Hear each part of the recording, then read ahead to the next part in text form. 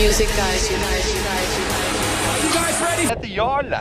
Du heter Jarle, Ja, ja. Jeg, var, nei, men jeg var født og oppvokst oppe i Lofoten, og så flyttet jeg ned til Søringene. Så lenge fisken er god, og jeg har pils i hånda, og jeg er på trena, da er liksom, hva faen, jeg er hjemme, for faen. Det her han er han Pau. Han er altmuligmann og liker seg bak kamera. Sondre er eventyrer og liker seg foran kamera. Sammen skal de i løpet av denne serien vise oss hvordan det er å være på tur med Sild-Norge langs Helgelandskysten på vei til Trænafestivalen. Push me out to sea, baby. It's the best thing for us both. Velkommen til Trænafestivalen, en festival midt i havgapet fylt med konserter og spenstige aktiviteter for alle.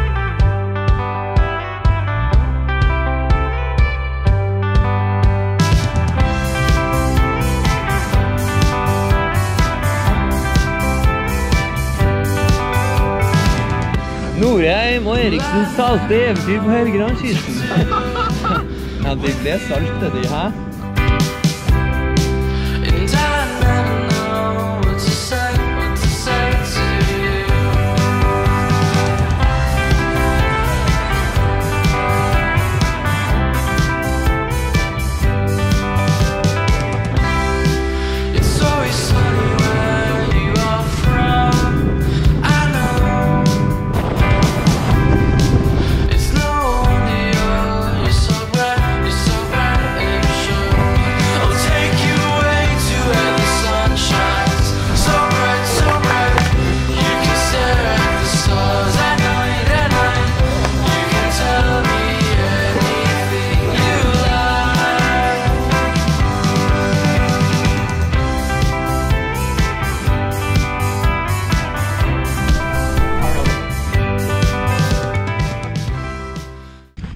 Ja, det ble festivalflagg på meg, altså.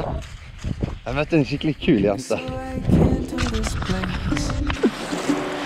I'm looking for a familiar face, and that's when I saw you.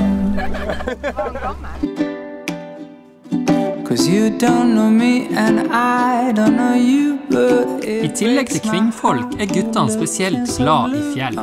Derfor har de fått i oppgave å speide etter sola på øyas høyeste punkt. Nå er det verdt det. Men i morges, da hadde jeg lyst til å skyte deg. Trashstaven. Trænstaven, den er oppe der. Her kommer vi. Det er heftig, da. Ja, det er Du føler liksom at det er sånn free solo. Jeg føler liksom sånn her eh, Lafarata-ruter har sånn riktig på seg. Å nei, det er ikke klart. Sånn. Men du føler liksom at du går litt uten sikring, samtidig som den er nede, da.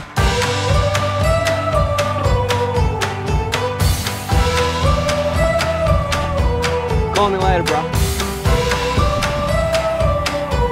Oh, det begynner tidlig der, men det er rett og slett. det har vært litt, så det har vært litt heftig på diskofoten. Så.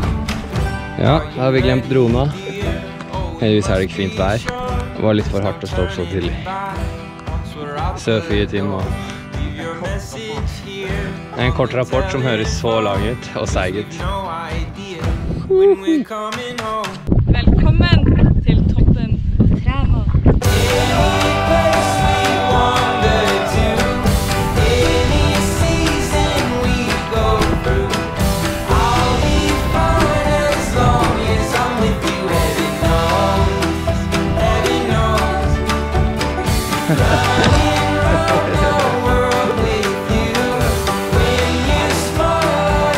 Jeg redder andre meg og bærer meg hjem.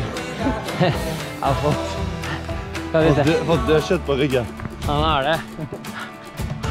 Jeg for at han tok knekken på oss. Jeg jeg er glad at jeg har en sånn sterk Okse! Okse! med meg. Flink fisk! Å, så flink fisk!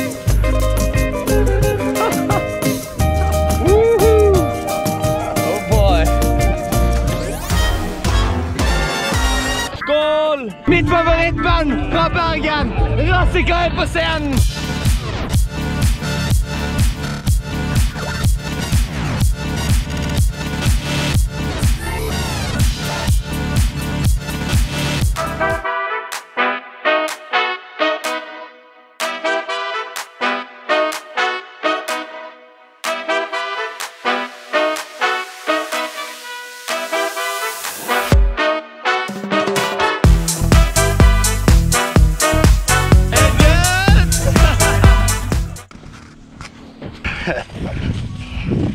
Nå nærmer denne serien seg slutten.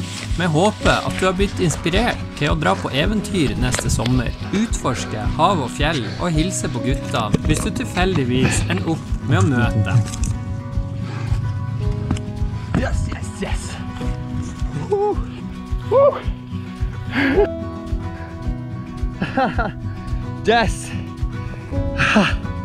Shit, det var fett. Vi seilte fra Brønnøysund. Startet seilasen med null erfaring. Og mer et turmann. På en måte organiserte turer pleier å være det det det er. Man blir passiv og man sitter og ser på det man skal. Men jeg må bare gi creds til Seg Norge der for å faktisk ha involvert alle som er med på turen. Og så at de lar en raring som jeg får lov til å være med, er helt fantastisk og betyr veldig mye. Men ikke bare minst opplevelsen har fått meg til å mm, få sett litt på livet mitt på en litt annen måte og reflektert litt. Grann. Og det handler bare om å omstille seg med litt ekte folk. Og på Helgelandskysten så er det det. Her er det jo oppdaget. Her er det ikke Her må du finne opplevelsene sjøl, da. Sånn som den toppen her. Lang eller krevende eller noe sånt som det, men det er et eventyr. Som jeg kommer til å sette pris på. Så lenge jeg lever! Trener! Faen, har levd litt.